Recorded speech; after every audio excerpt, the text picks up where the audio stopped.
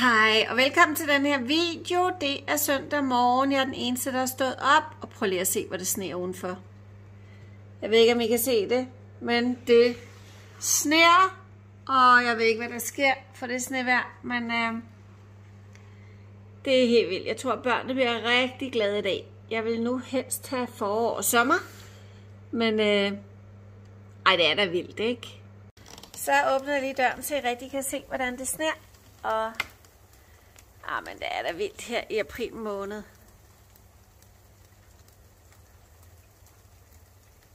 Vildt, som det bare daler ned for himlen.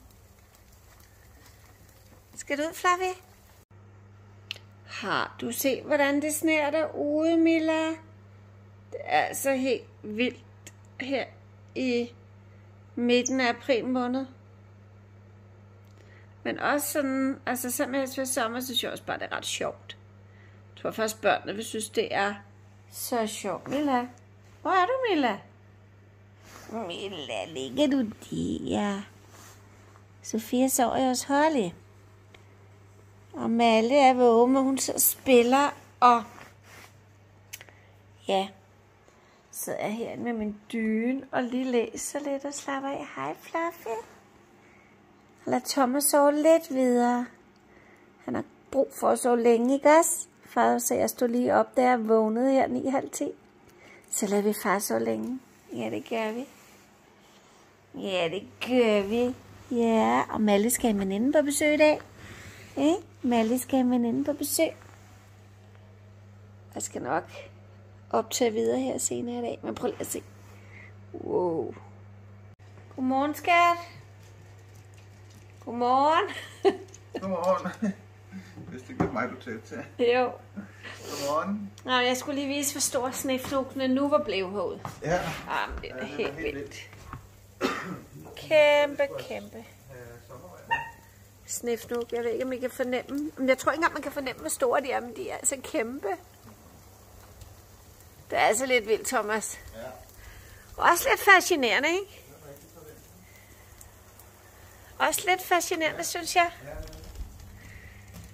Så nu har jeg lige gået næsten 10.000 skridt, og så kom Nadia og Brian, og Holly, de kom med Sofia. Hvordan er det gået, skat? dårligt. Hvorfor er det gået dårligt, da Sofia sov hos dig? Fordi noget, som vi fandt ud af i går, Hvad er det? det er noget, som morfar har fået at vide. Jeg har ikke fået noget at vide. Mit hamster er død. Nej, Jo. nej, ej, det er løgn, Holly. Og vi tror, at den har været død i tre dage. Ej, hvordan kunne det Og den, og være? den, og den er død i tre dage. Ej, hvordan Tror kunne det ske? Og vi har begravet den i dag. Og oh. Michelle og min mor fandt ud af det i går, at den var død. Hvordan? Åh, det er jeg ked af. Er du okay, Holly? Har du grædt meget? Lidt. Åh, er virkelig ked af. Gå du bare hen, skal jeg tænde ved noget lys?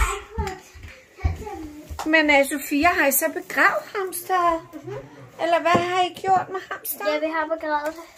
Hvor begravet det henne? Ude i baghaven. Åh, det var ligesom dengang, vi mistede vores høns, ikke også? Mor! Åh, vi skal ikke snakke om hønsene, nej. Hvad så nu er det? Jeg vil bare lige tilføje noget til. Hun er meget sød, men det er ikke tre dage, fordi jeg så den i forgårs. Så den, er, den har nok ligget død en enkelt dag. Ja, Så det er ikke tre men det er jo dage. også svært nogle gange, fordi de graver så ned under Ja, det meget der hø- fandt ret hurtigt ud af det, når den ikke løb i sit jul, for du hører den hver dag i jul. Åh. Hver dag.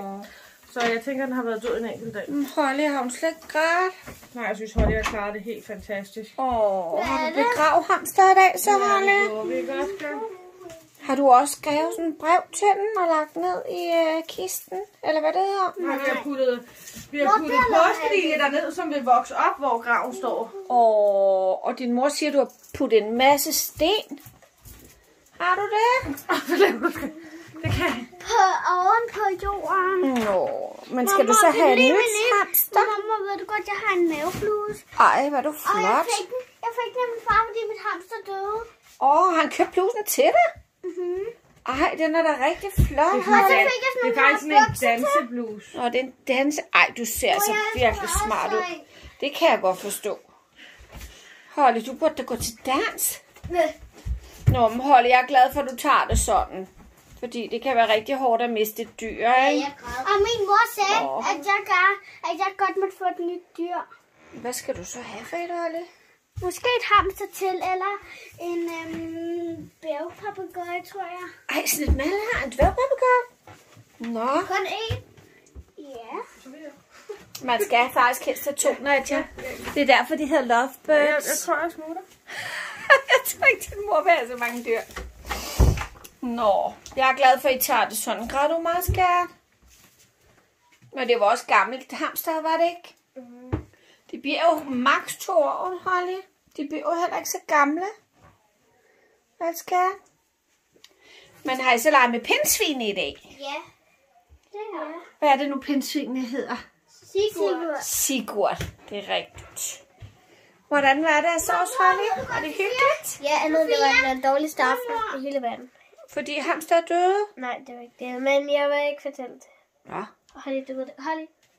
Mamma ved Ja. ja. godt, Sofie, hun har fået den her poppet af mig, Ej, og min mor og min far. Ej, Holly, den er flot. altså der Men må jeg lige spørge om noget? Har I set det sned i dag? Ja, ja. Det er snedet så meget i dag. Jeg har optaget på den her video i morges, hvor meget det Vi sned her. hoppe. I snevejr? Ja, Ej, hvor vi hyggeligt. skyndte os at tage tøj på. Det lyder hyggeligt.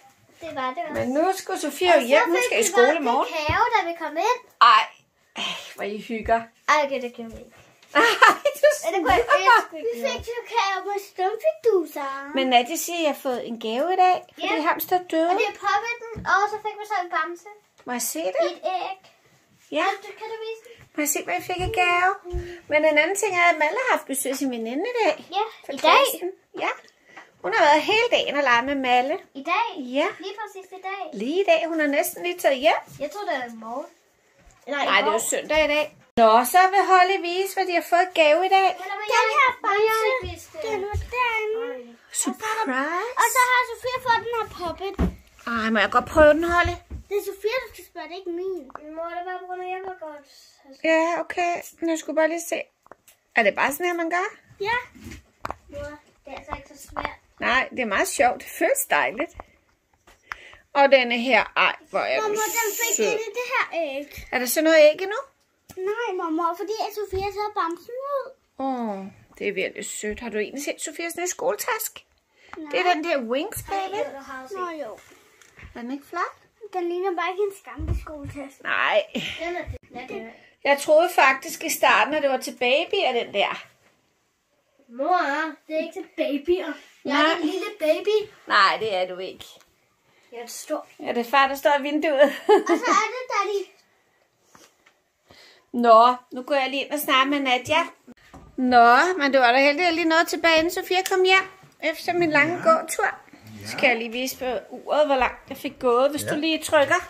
Skal jeg trykke? Jeg trykker. Jeg tror, du skal trykke to gange. En Nå, gang til, En gang til. så kan I se. Sådan. Ej, man kan ikke se det så godt. 8.178 står der. Skridt. Næsten. Flot. Ja. Ja. Jeg vil altså have rundet 10.000, men uh, Jamen, det var... er, dagen er ikke gået nu. Nej. Men tusind tak, fordi I så med på den her video. Søndagsvideo fra os i dag. Vi har bare slappet af i dag, at jeg har gået den her lange tur. Så derfor er det kun en video, vi har lavet til jer i dag. Men håber, I får en rigtig fortsat god søndag aften. Tak, fordi I så med. Næste gang du kommer, så kan du se en um, um, hamsterbegravelse. Åh, oh, jeg vil gerne se hamster gravsted. Er det det, du mener, skat? Det kan du tro, Men mormor. kaninen Marley også død. Ej, men det er jo lang tid siden. Må jeg fortælle, hvad, må jeg fortælle dig, hvordan den døde? Øh, det må du da gerne. Må jeg fortælle det på video? Øh, ja.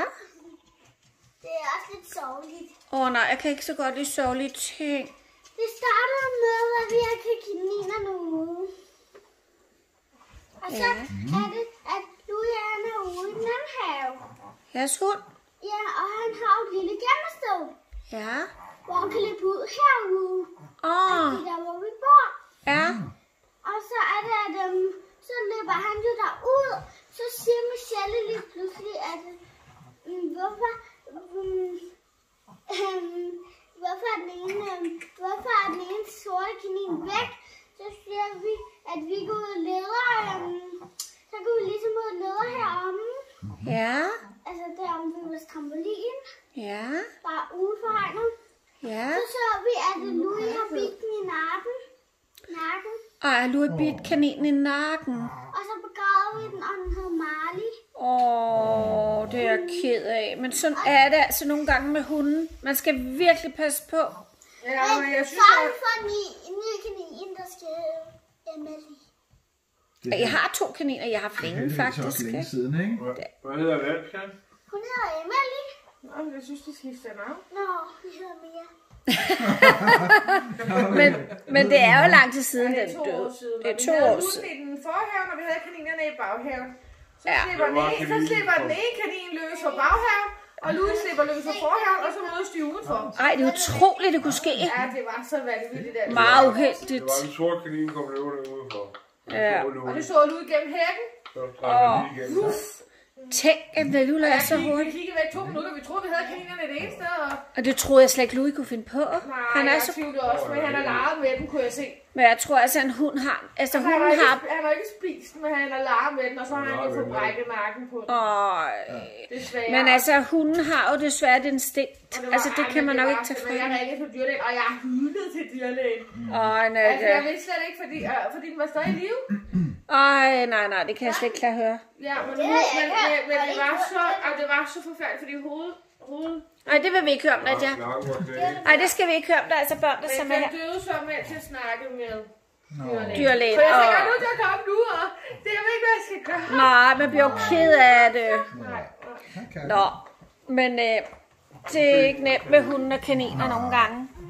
Nå, vi skal da lige slutte af med at fortælle noget godt til sidst, Ja, det Thomas. vil jeg også sige. Det var en meget sørgelig historie derovre. Ja, vil du ikke lige fortælle, hvad der kom på gamingkanalen? Vi er nødt til at have lidt sjovt i dag. Det kan også være, at Holly skal høre det, for det er sjovt, Holly.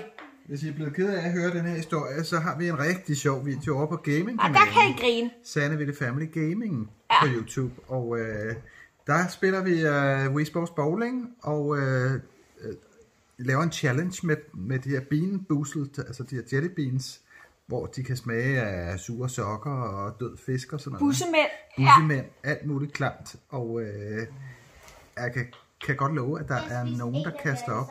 Så dårligt. Og det er mig og Nadia og Simone og Thomas, der Ja. spiller bowling. Og den, der ikke får en hvad? Strike, er det ikke Ja, det, ja, det er rigtigt. Vi, vi er, hvis man ikke får spærres eller strikes, så skal man spise jelly beans. Ja, og nogle smager godt, og nogle smager skidt. Og I skriger og griner, når I ser den video. Så Helt skynd sikkert. jer over at se den. Ja, Jeg der er lidt til humøret.